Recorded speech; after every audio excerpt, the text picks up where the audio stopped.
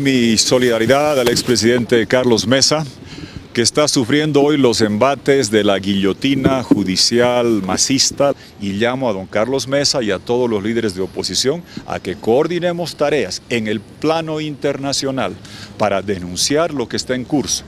Un golpe con dos componentes, desconocer el referéndum para perpetuar inconstitucionalmente Evo Morales mientras se persigue, se criminaliza y se busca amedrentar a todos los que pensamos diferente.